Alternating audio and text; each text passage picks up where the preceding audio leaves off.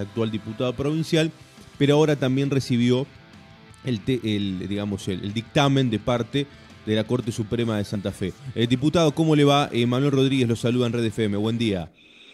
¿Cómo están? Buen día. Disculpen, pero me tuve que correr. No sé si me escuchan bien. No, perfecto. Ah, están trabajando ahí abajo de mi oficina y bueno, me tuve que correr porque era mucho el ruido. No, no hay problema, pero está, eh, sale bien, sale bien. Bueno, Fabián, finalmente la Corte Suprema de Santa Fe eh, dio lugar, digamos, al pedido de ustedes en torno a la banca número 50 de la Cámara de Diputados de la provincia. Así es, en realidad, bueno, es un proceso que duró mucho tiempo, tengamos en cuenta que nosotros fuimos en queja ante la Corte Suprema de Justicia en el mes de noviembre del año pasado. Tengamos en cuenta que el Tribunal Electoral, que estaba en ese momento a cargo del presidente de la Corte Suprema de Justicia, como corresponde, que es el doctor Herbeta, había decidido eh, que la banca sea para Rubén Giustiniani, contraria a la jurisprudencia del propio Tribunal Electoral y de la propia Corte Suprema de Justicia de la provincia de Santa Fe. Por eso nosotros insistimos desde el primer momento que la banca nos correspondía la tercera banca, el Frente Amplio por la por el Frente Amplio por la Soberanía.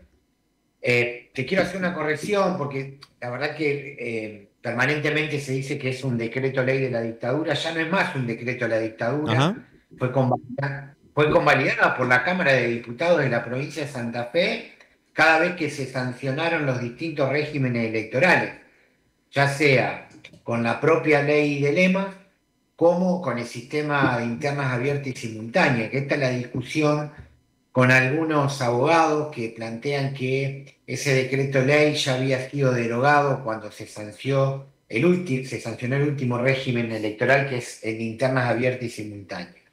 Pero más allá de esa discusión, lo importante es que la Corte Suprema planteó que la Cámara de Diputados y Diputadas ya resolvió eh, a favor de nuestro lugar pero bueno, hizo dos observaciones que me parece que son sumamente importantes. La primera es que la Cámara de Diputados resolvió de acuerdo a la jurisprudencia y a la doctrina constitucional de la provincia de Santa Fe.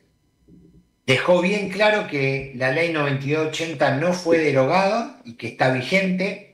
Nosotros en eso nunca tuvimos duda. De hecho, en la Cámara de Diputados y Diputadas hay por lo menos cinco o seis proyectos de ley que fueron perdiendo estado parlamentario y que se renovaron en muchas oportunidades para derogar ese piso del 3% que se necesita de los votos emitidos para poder ingresar a eh, el sistema de distribución de las 22 bancas que se llevan a minoría.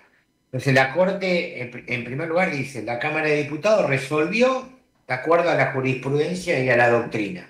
La ley 9280 está vigente, y lo que dice en una de, las partes más importantes de los fundamentos, que la propia Corte Suprema eh, plantea de que el Tribunal Electoral desconoció la doctrina y la jurisprudencia de la propia Corte Suprema y del Tribunal Electoral. ¿Por qué nosotros siempre dijimos que era muy grave lo de Herbeta? Porque Herbeta, siendo presidente de la Corte Suprema y por ende presidente del Tribunal Electoral de la provincia de Santa Fe, desconoció la jurisprudencia de la propia Corte que él, en ese momento presidía. Y la jurisprudencia son cinco casos. Los casos Martina, Estochero, Molina, son en cinco oportunidades la Corte Suprema de Justicia manifestó que el decreto ley 9280 está vigente, que se necesita ese piso. El caso de ahora, eh, Palo Oliver, sería el sexto caso donde la Corte fija jurisprudencia. Bien. Bien, clarísimo, clarísimo. Eh, Fabián, eh, te pregunto ya que, te tenemos y te aprovechamos, eh, te cambio de tema y te consulto. bueno, en su momento trataron el tema del fiscal Ederi, todo lo que se tejió en torno al fiscal Ederi, el tema de Ortigala, el tema también del senador Traferri, la cuestión de la investigación que hacían del juego clandestino. Pero hace algunos días atrás también removieron en la legislatura santafesina a, quien era fiscal, Gabriela Lescano. Eh, y obviamente uno le llama la atención, ¿no? Porque, digamos, no es algo habitual, o al menos que tome trascendencia mediática que remuevan o, corran a, dos fiscales. En el caso del escano, eh, ¿cuál fue, digamos, la mirada que tuvo la legislatura de Santa Fe para, para removerla de su cargo? Hace poquito estuvimos hablando con el abogado justamente del escano. Sí, eh, también de paso te agrego que en, pocos días la legislatura empieza a abocarse nuevamente a evaluar la conducta de fiscal Aldo Gerosa de Reconquista, eh, a partir de una denuncia que yo presenté el 23 de marzo. Gerosa el primero de junio se incorporó nuevamente al Ministerio Público de la Acusación porque estuvo suspendido 10 meses, 4 meses preventivamente y 6 meses que la legislatura lo suspendió. Ya en ese momento nosotros pensamos eh, y sostuvimos que había causales de remoción eh, y ahora agregamos una nueva denuncia y, lo digo con absoluta eh, convicción y esto no significa prejuzgar, tenemos los elementos, tiene los días contados, va a ser otro fiscal que va a ser removido en el norte de, de la provincia. Gerosa es el fiscal que protegió a un, abusador sexual, eh, que se conoció como el caso Galás, una eh, situación de, abuso sexual interfamiliar. Eh, Marcelo Galás era una persona vinculada a la política, concretamente era asesor del actual diputado provincial Dionisio Escarpín. Obviamente que cuando esto sucedió, Dionisio Escarpín lo separó del cargo, por supuesto, y tenía una, fue protegido para tratar de evitar eh, una condena que hubiese sido mucho más importante que la que tuvo. Bueno, este caso se empieza a discutir a partir de otra nueva denuncia que hicimos nosotros. En relación a la pregunta que vos me, terminás de hacer, la verdad que, bueno, yo no, no, fui ni acusador ni, ni, presenté esta denuncia, esto es un informe que viene del auditor eh, general del Ministerio Público de la Acusación, el abogado eh, defensor de, de, esta fiscal eh, planteaba de que ella tenía una situación de salud, por todos los medios intentó plantear de que no se la podía sancionar porque ella estaba en una situación eh, era insana, y la verdad que se cumplieron todos los requisitos y los pasos, hubo informes de, la, de la propia, de, los propios estamentos médicos, y bueno, se estableció que no tenía eh, una discapacidad, que estaba absolutamente, el perito de la corte determinó que estaba absolutamente eh, con todas sus facultades cuando ella eh, cometió las irregularidades que cometió y salió aprobado por unanimidad. Es una fiscal que tuvo una serie de comportamientos que afectaron el normal funcionamiento del servicio de justicia en la provincia de Santa Fe y te diría que, es muy raro que haya unanimidad. En el caso, por ejemplo, de Matías Ederi, que fue suspendido, no se logró la, unanimidad. Eh, había algunos diputados que entendían que tenía que ser removido y terminó con una sanción. Pero en este caso, eh, la totalidad de los miembros de la Asamblea Legislativa, que conforman 50 diputados y diputadas, y los 19 senadores coincidieron en que tenía que ser removida, insisto, porque se esperó todos los informes psicológicos y realmente los informes han determinado, tanto de la Junta Médica como del perito de la Corte, que quizás es el informe más importante, que esta funcionaria, exfuncionaria, estaba en todas sus facultades al momento de ser analizado su comportamiento. Eh, ya que lo mencionás a, al a, a, Ederi, a Matías Ederi, eh, Fabián, eh, en las últimas horas se habló que mm, podrían abrir, por así decirlo, el celular o revisar el celular de Matías Ederi. ¿En eso también está involucrada la legislatura santafesina o corresponde a una cuestión de la justicia?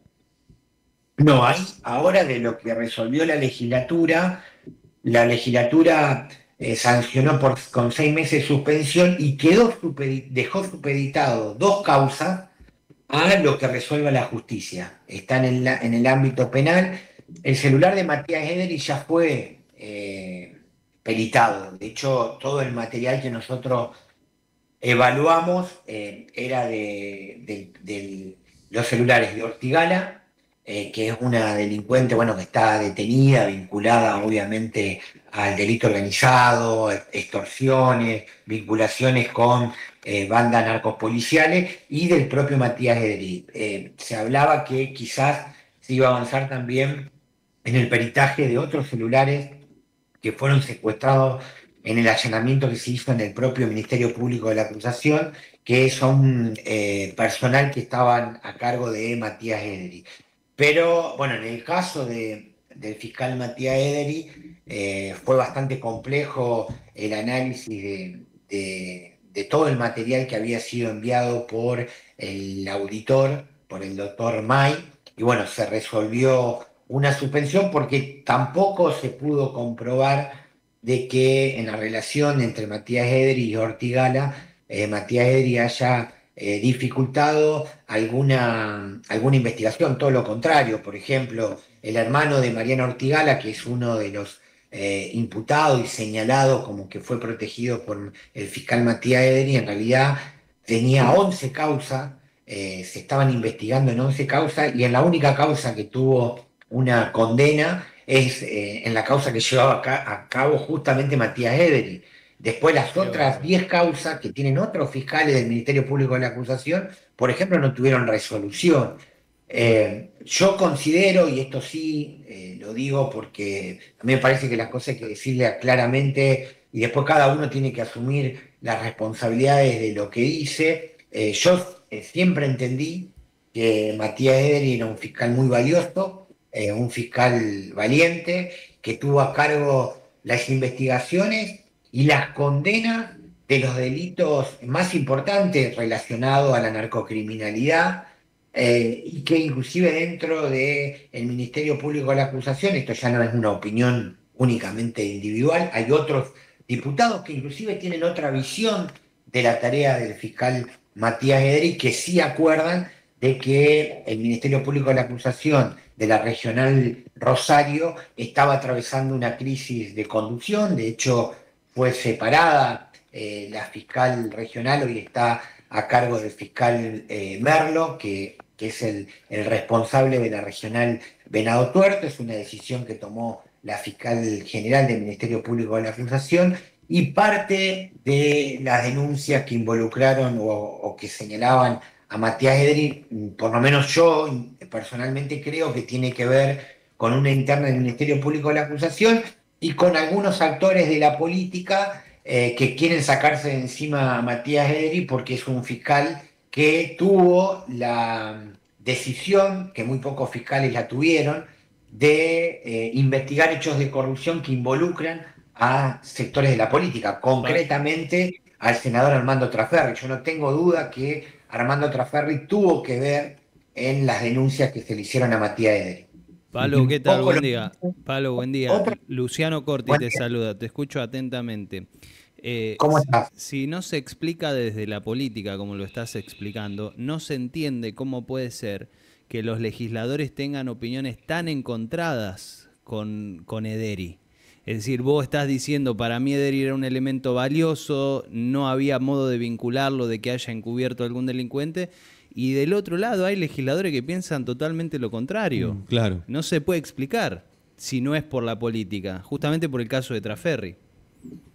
Sí, yo lo digo con todas las letras, independientemente que si alguna vez me equivoco, eh, lo reconoceré. Yo creo que Matías Edri es un fiscal valioso, valiente, que ha investigado casos que muy pocos fiscales se animaron a abordar que fue un punto de inflexión, un antes y un después, pero aparte porque uno no puede analizar las cosas sin una línea temporal. Cuando Matías Ederi decide investigar eh, juego clandestino, eh, ahí empezó primero una resistencia del senador Armando Traferri de presentarse a la justicia. Ahora se puso a, a, a, disposición porque lo corrieron a Ederi y llamativamente los fiscales que tienen la causa jamás todavía lo convocaron A, declarar. Y eso llama la atención. Nosotros en eso vamos por hacer también una presentación para que se nos explique del Ministerio Público la acusación por qué no fue convocado Traferri a, eh, a una indagatoria.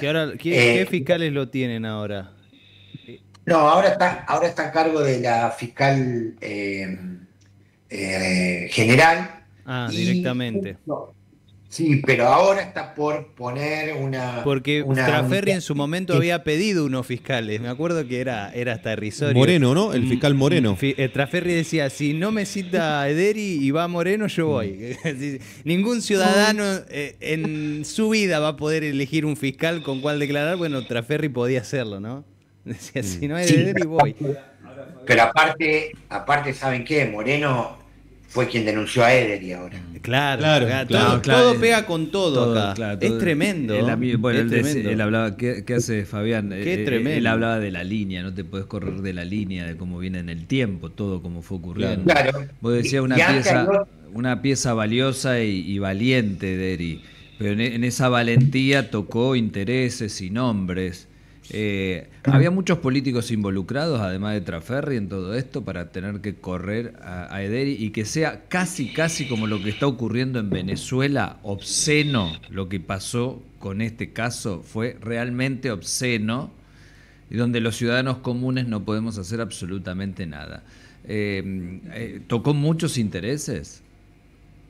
Sí, porque aparte eh, más allá de, los intereses que tocó, Traferri no es cualquier senador.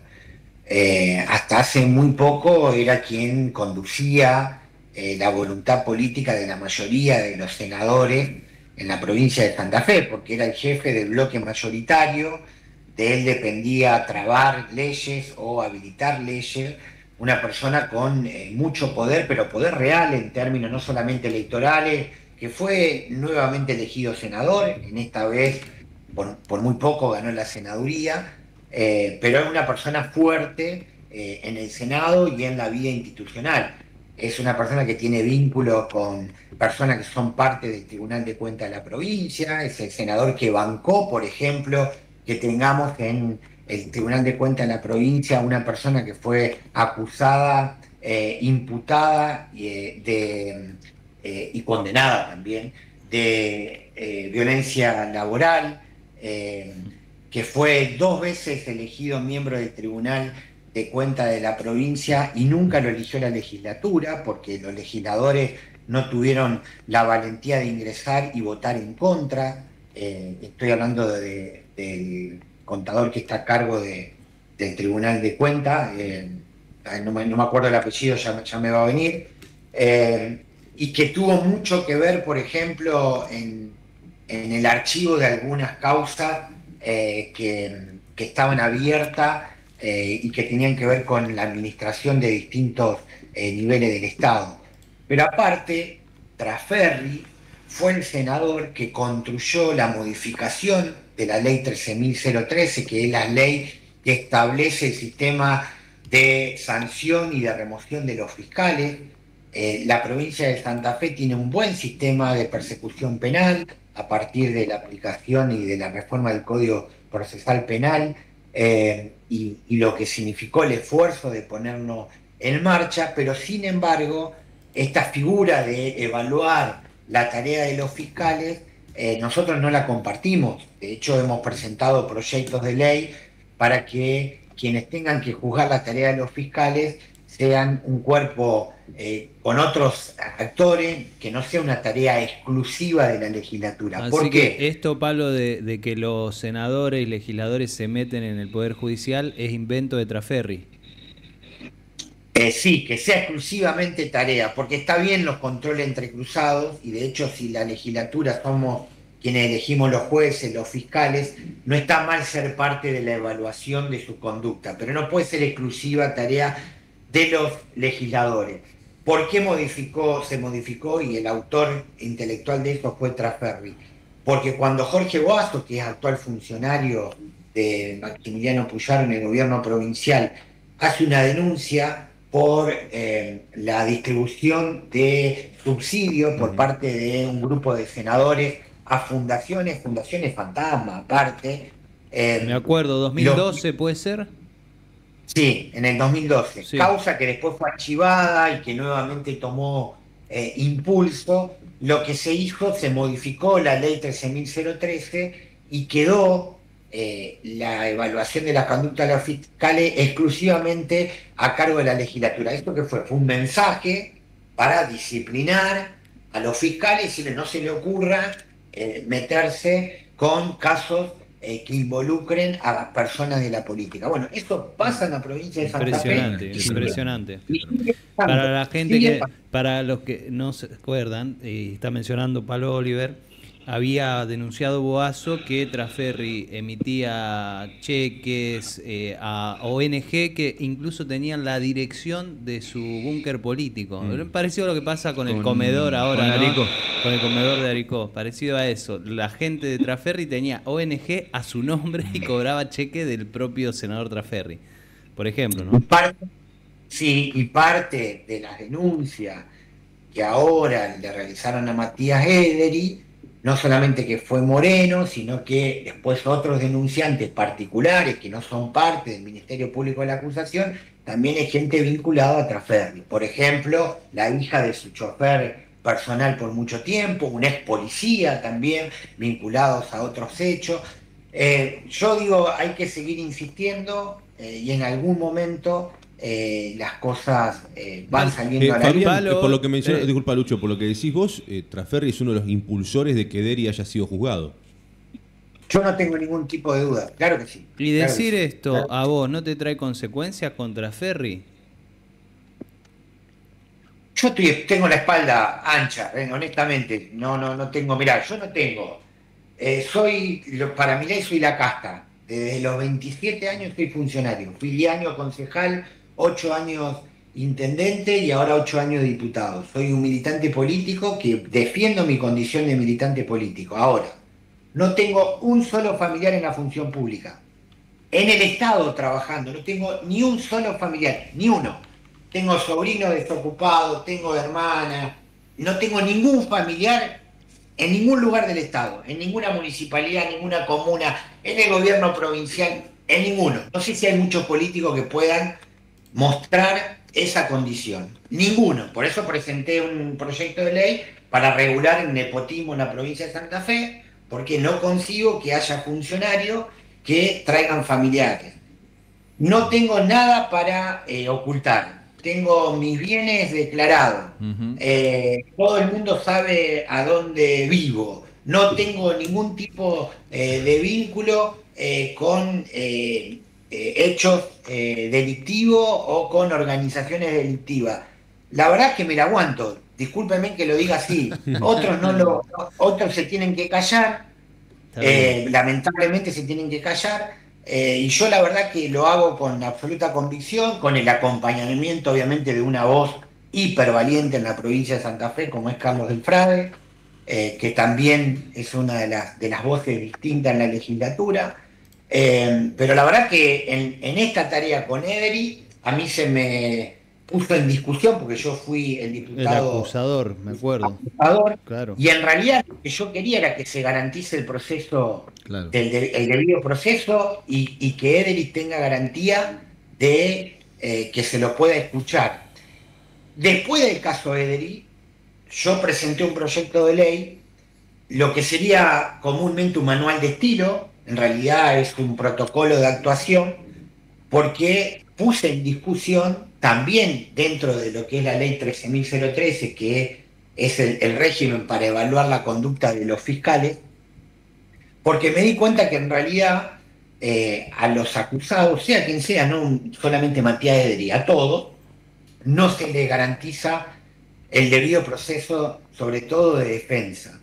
Eh, ¿Por qué? Porque en realidad se hace una acusación antes de escuchar claro. al acusado. Por ejemplo, Mike, que es el auditor, que ha hecho algunos, algunos trabajos que son buenos de acusación, otros no tanto.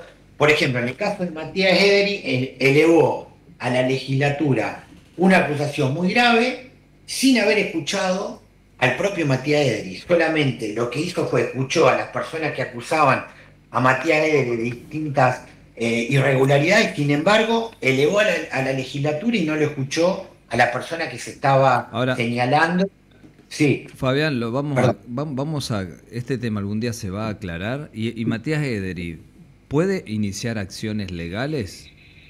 tiene la facultad de, denunciar a alguien por, por, esta maniobra, porque como vos lo explicas, es tan claro de que hubo algo en contra de él porque tocaba intereses eh, políticos muy fuertes. Mm. ¿Tiene forma de defensa? Y, los ciudadanos comunes de a pie, eh, ¿vamos a enterarnos cómo fue este caso en algún momento o no?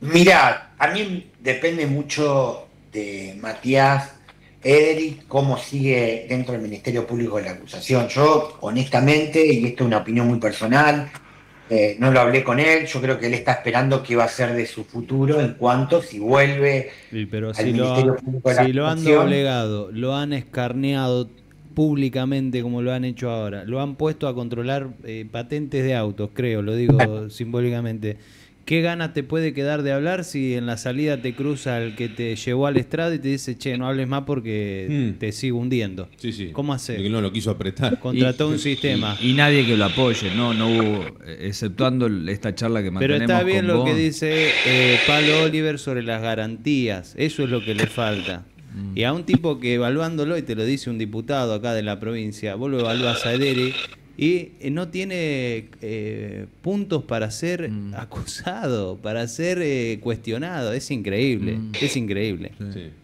No, saben que en todos los chats que, que, se, que se evaluaron a partir del peritaje y demás, pero aparte hay otras cosas, filtraciones, etcétera, etcétera. Había cosas que se filtraban antes de, de que sepan eh, los diputados, yo como acusador, pero bueno, esto tiene que ver con el procedimiento, por eso presentamos un, proyecto de ley.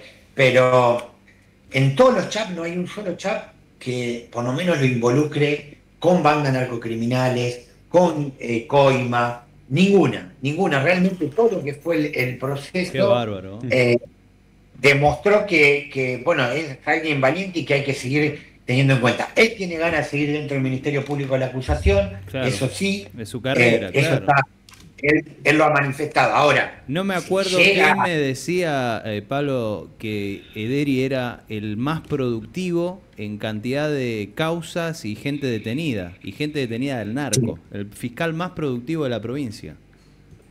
Sí, pero aparte es escandalosa la diferencia con relación, por ejemplo, a los, a los propios fiscales que lo acusaron. Por ejemplo. Claro, a Moreno. escandaloso. Eh, pero aparte no son delitos comunes, son delitos complejos, narcocriminalidad, lavado de dinero. Eh, pero bueno, yo, a ver, soy un convencido de que esa eh, batalla hay que darla.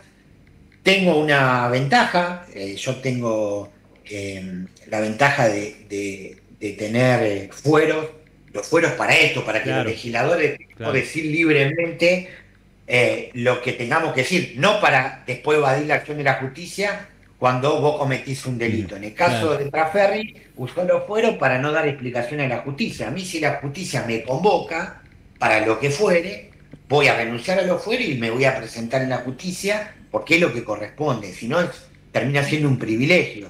Porque yo la verdad que lo que digo lo digo con absoluta convicción, con mucha responsabilidad. No voy a estar acusando o diciendo algo si no tengo la, certeza.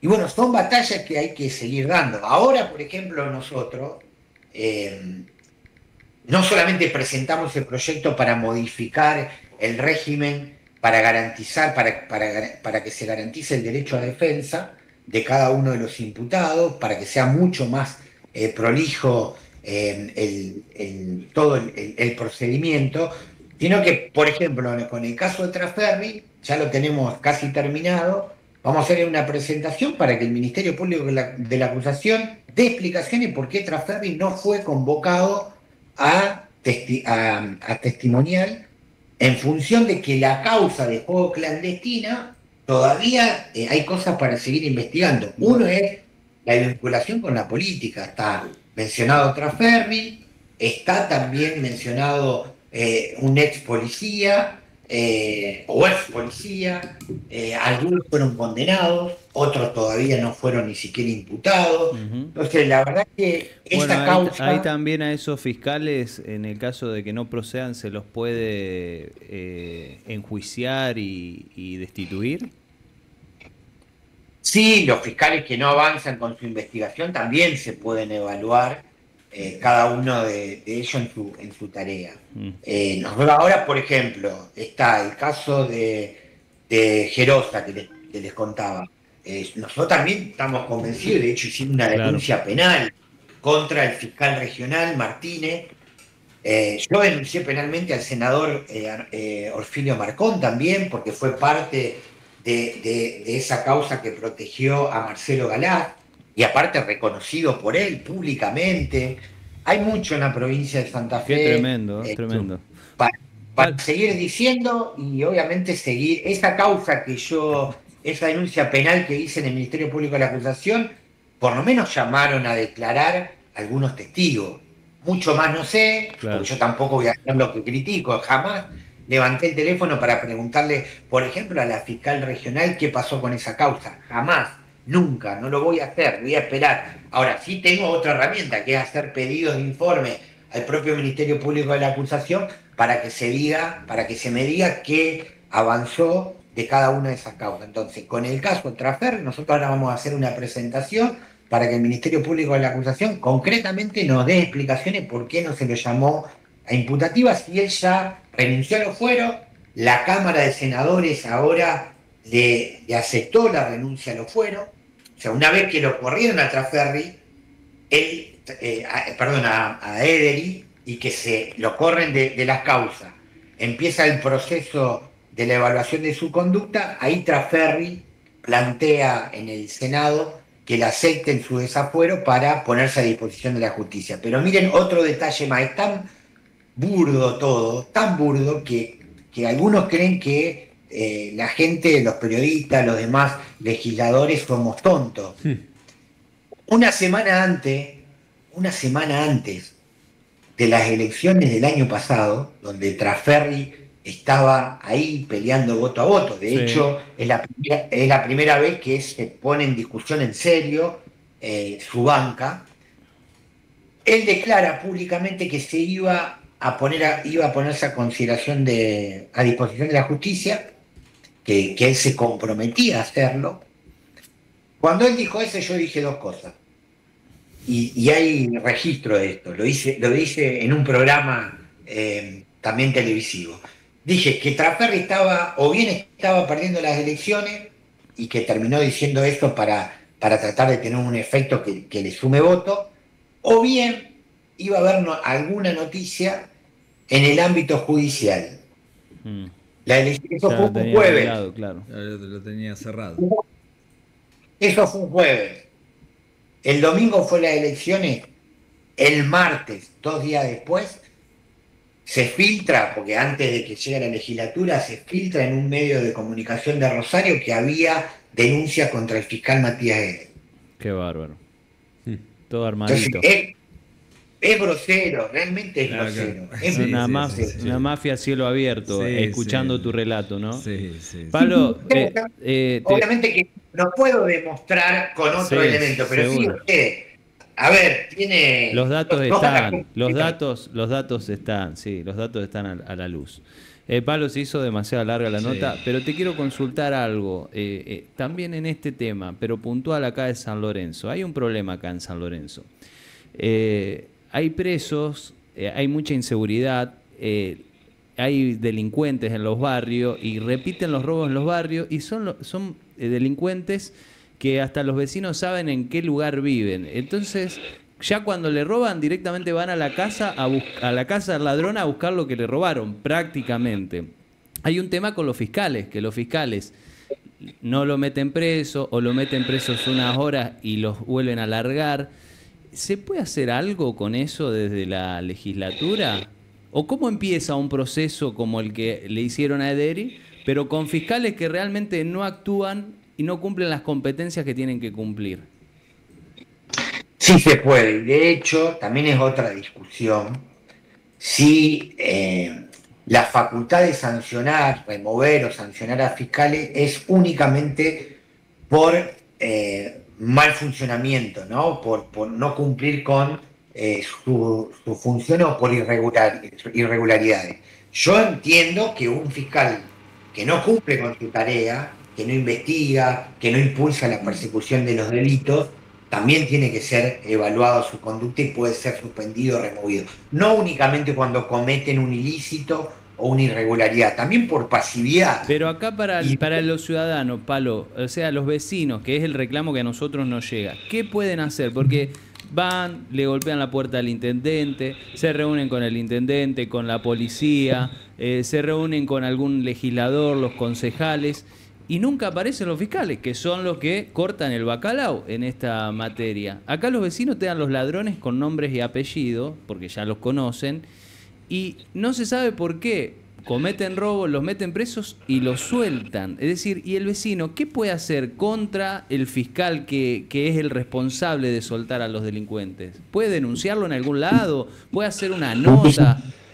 Se lo puede denunciar a la propia legislatura o en el ámbito del Ministerio Público de la Acusación. En el MPA. Bien, sí, también los vecinos tienen que saber que si en la ciudad existe un consejo de seguridad, la mayoría de las, ciudades nuevamente tomaron impulso a los consejos municipales de seguridad o las juntas barriales.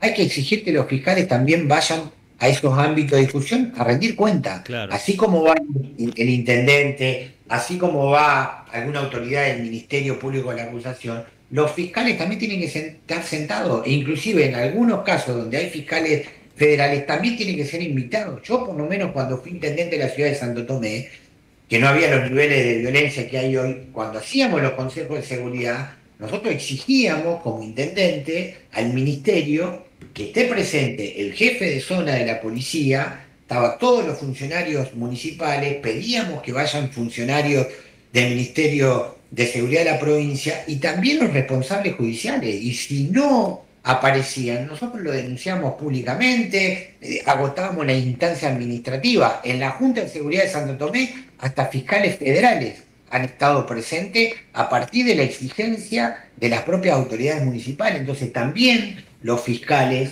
deben dar eh, la cara en, en esos ámbitos de, de, discusión institucionales, por lo menos para rendir cuenta qué es lo que están haciendo. ¿no? Está bien, está bien. ¿El hombre fuerte de Traferri en el Tribunal de Cuentas es Biagioni?